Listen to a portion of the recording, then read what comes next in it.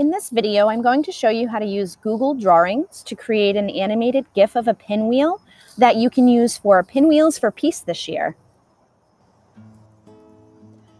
So the first shape that we're going to use is a rectangle, but we're going to make it square by holding shift while we create it.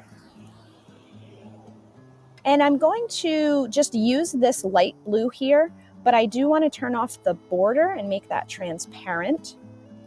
And the next shape that we're going to add is a triangle, and we're going to use this first triangle right here.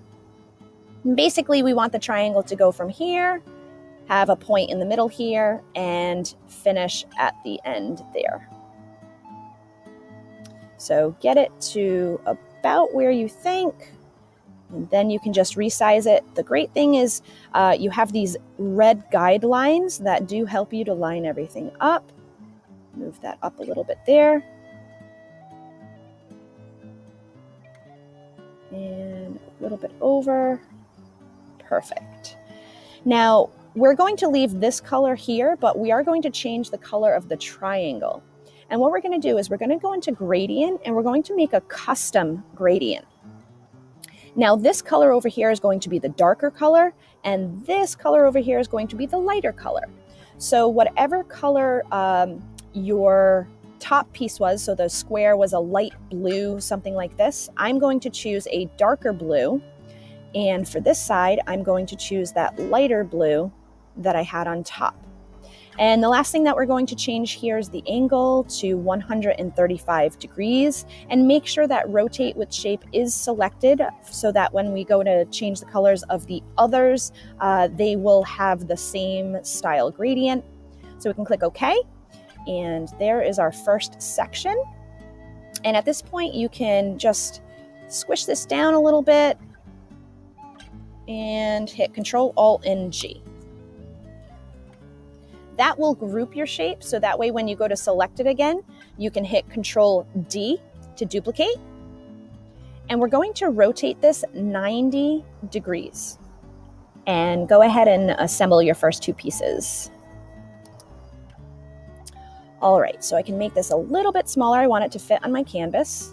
And at this point, I can also group these two shapes, Control Alt G, and duplicate, Control D. And now we're going to rotate this 180 degrees.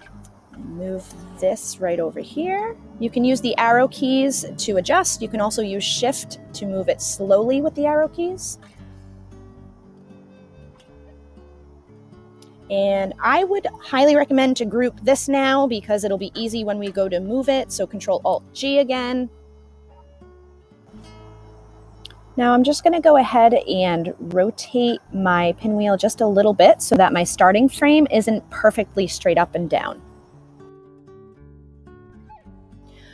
All right, now the next thing is if you would like to change the colors of the pinwheel, I would do that first. And simply just by clicking and again,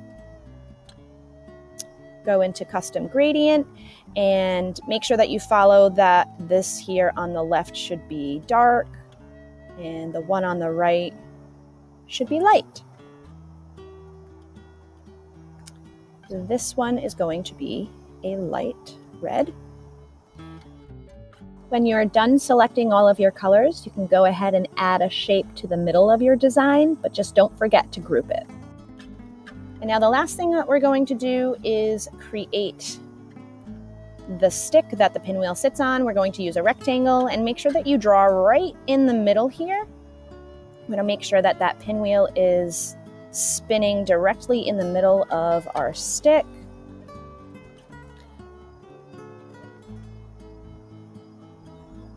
And we're going to move that to the back by hitting Control, Shift, and the down arrow. And you won't see it now, but when we go to move everything else, you will see it. All right, so the first thing that we're gonna do is save this first image. So we're going to go to File, Download, and we're going to save it as a PNG so that the background stays transparent.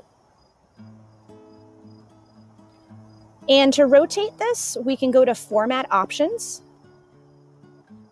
and the very first option here where it says size and rotation,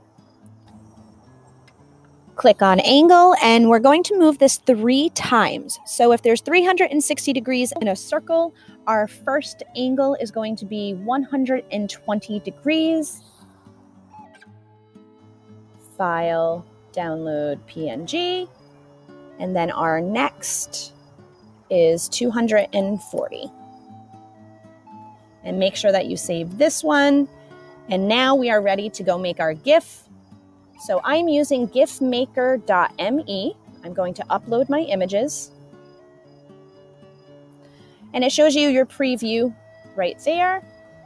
And you can change the animation speed by going faster or slower. Somewhere around 200 is a good speed for a pinwheel. We're going to hit create GIF animation. You can hit view and then you can actually just click and drag this over back to your Google drawing. Delete that. And here is your animated pinwheel. Feel free to change the background if you wish.